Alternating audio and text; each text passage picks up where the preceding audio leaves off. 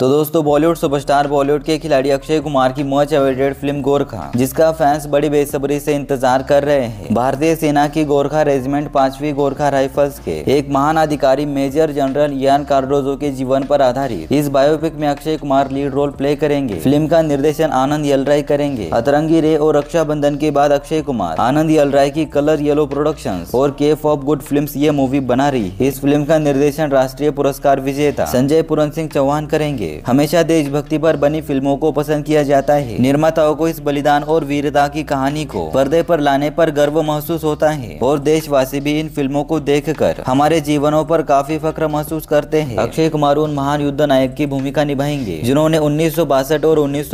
के युद्ध में और विशेष रूप से उन्नीस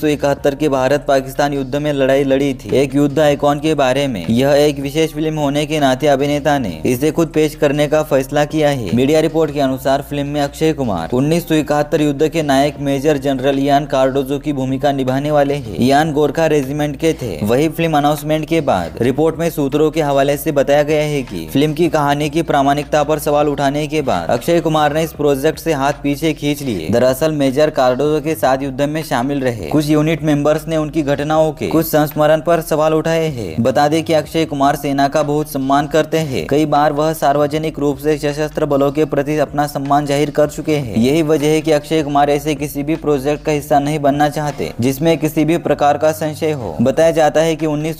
के युद्ध के दौरान जनरल यान कार्डोजो का एक पैर लैंड पर पड़ गया था जिसके बाद उन्होंने अपना पैर काट दिया था वही अब यह कहना मुश्किल है की गोरखा फिल्म आएगी या नहीं क्यूँकी मेकर्स ने अभी तक ऑफिशियली इस पर कुछ भी नहीं कहा है वैसे आपको क्या लगता है की ये फिल्म आनी चाहिए या नहीं कमेंट करके जरूर बताना बाकी अगर आप भी अक्षय कुमार के डाई हार्ट फैन है तो ऐसी अक्षय कुमार की मूवी से रिलेटेड हर एक अपडेट के लिए हमारे चैनल को सब्सक्राइब करें